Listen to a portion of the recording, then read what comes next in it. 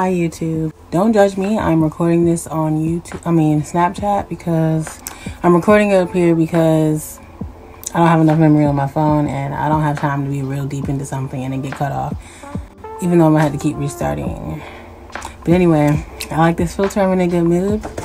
But so as you can tell by the title of the video, although at this current moment I don't know what I'm gonna title it, but I passed my certification exam for me to become a recreational therapist. The official title is Certified Therapeutic Recreation Specialist. That's me. So I'm very excited, very relieved. I guess I can go into detail about leading up to certification. A lot actually went a lot led up to this certification, so I'm really proud of myself for getting it. Passing the test the first time, so yeah. But this is the package. This is what I got in the mail. NCTRC is the name, and it stands for National Council for Therapeutic Recreation Certification. I'm gonna go ahead and open it.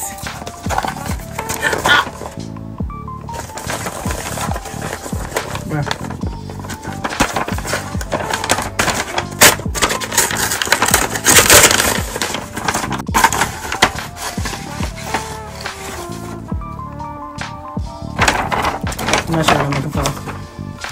Oh my gosh. This is some official stuff, bro. I got a pen. Why'd I rip it off like that? But I'm a, like, I'm a,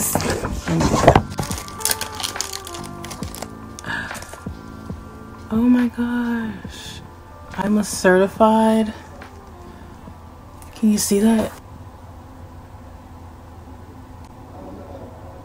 really trying. But that's pretty cool. I got a letter here. Congrats on becoming a CTRS. Although you're now nationally certified, you may still be required to become licensed in the state in which you work. License, okay. So basically, okay. Basically, if I move, I just got to make sure I'm up to date. There's that.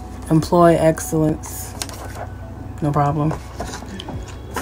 Wow. Okay, anyway, a bunch of paperwork, but the certificate. Now, what's funny is I already have one, but not this official one. My dad printed it out and laminated it. I thought it was pretty funny that he took the time to laminate it and print it out for me. It was really, it was cute. Yeah, this really is full circle for me. Ow. because but yeah, this is pretty full circle for me. Um, I finished my internship in August of 2019. I walked, um, technically that's when I graduated college, but I walked across the stage in May because I was done with everything. I decided to do my internship. But since February, my grandma had been in a nursing facility, basically. And she had a disease. This is kind of like a tangent, but it ties into why this is full circle. So just bear, um, just bear with me because it does tie into this. Why it's surreal, basically. But yeah, she had a disease called pulmonary fibro pulmonary fibrosis and essentially it just scarred your lungs and took your breath away.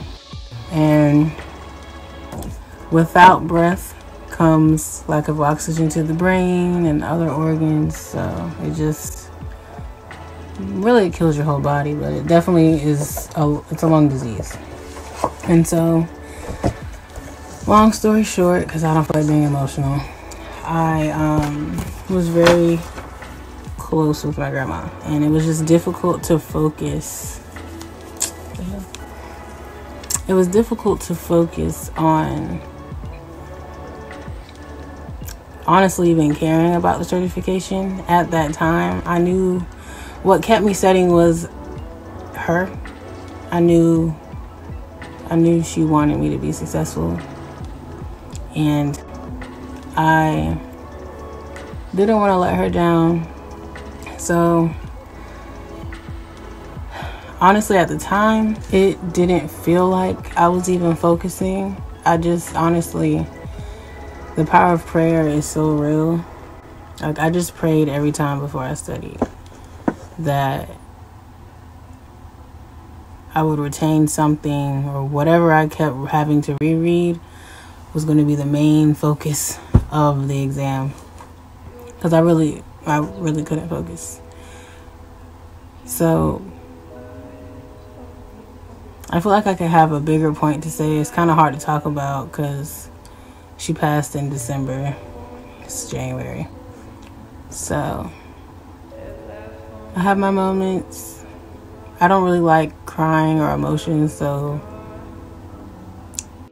I'm not really sure if I'm handling it or not. It's kind of like I have a spokesperson, and then I'm well aware there's another version of me. I'm like well aware there's another version of me that is hurt. But, you know, sometimes it's hard to even stay hurt because sadness happens around every like happens every day to different people. And so sometimes I feel selfish. I'm like, somebody just lost somebody today and I'm still sad about. But I know that's I know that sounds silly, but that's just how I operate. But anyway, this video is not about that, but I'm just basically, I guess, wanting to say, like, no matter what you're going through, keep pushing, keep moving forward. Because life's going to keep moving and it's not going to wait for you. And I think I kept that in my mind to some degree. So I think, besides prayer, and just tell I kept telling myself I will pass, I will pass, I will pass because what you speak is what you get and I knew for sure if I didn't pass the test the first time I don't think I would have struggled to pass it another time. If you heard that, that's my little brother. But I really just willy nilly started recording this because I just left helping my aunt who's like not able to do stuff for herself. Love you, Aunt Nitty. Um, I love hanging with her, but that was not the point. but I saw this mail on. I saw it, and I haven't had an envelope for me this big since since like I got into college. So I was like, did my dad apply to a master's program for me that I am totally not ready to be in? No, I just got my certificate. It's pretty cool. Um, I'm sorry if I if I seem scatterbrained because I kind of am. Like what I've said up to this point is definitely a like a rough copy of how I really feel. I just I really when I say don't like emotions, I really don't. So talking about it any deeper I can't do that right now. And I didn't prepare. Like, I honestly was going to finish watching the rest of the Grammys because I recorded it. But anyway, I hope that people who come across my channel, and I guess specifically this video, um, I hope you make a biggest, uh, whoa.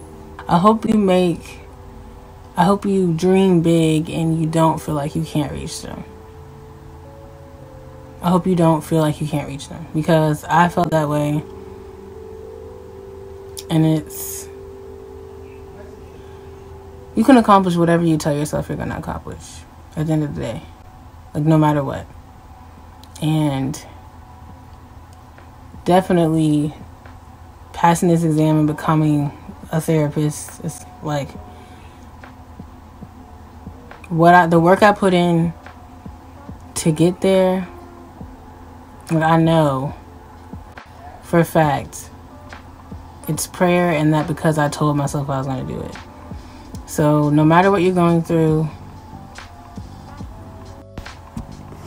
um, no matter what you're going through, keep pushing. I keep saying the same stuff. It's like I want to. My brain has a lot more in in it than what I'm saying. This is me every day. But I just want. I always want the best for people, and I want the best for myself, and just. If you're really feeling like there's no way, I don't know your personal circumstance, and maybe it is difficult for you to achieve what you're trying to attain, but it's not impossible. Like, just because something is difficult and you may get knocked down a lot doesn't mean, excuse me, that it's not possible. I proved that to myself, and I'm definitely one who second guesses themselves quite often. So it was definitely a refreshing thing to have something I really wanted and told myself I would get actually come to light. So, but that's it. I hope and I pray that for anyone who comes across my video, whether if you even watch this far or if you watch the whole thing, I don't know, if you subscribe or whatever, I genuinely hope that you listening to me reach every milestone or pass every milestone, reach every goal that you have. Believe in yourself. I really want you to do that. I want me to do that. Because sometimes I don't. But you got to speak what you want into your life to get it. And you got to believe what you're saying. You have to believe what you're saying. Thanks for watching. I don't have anything else to say because I'm going to keep rambling and I'm going to say something I don't really want to say. So, if you watch this far, comment, like, subscribe. Give me some ideas because this YouTube thing, honestly, like, I like making videos, but I like be confused on what to do. So, I don't want to do no cheesy Anyway, I might edit all that out because that's not what this is about. Anyway, thanks for watching. Your girl is a certified recreational therapist. Um, that's crazy. Um, I'm a therapist. Like, I'm a therapist. Yeah. Thanks again. I don't know how to end stuff, so now I'm gonna put my hand over the camera like I see the people do and then you'll see my end screen saying thanks for watching again. Bye.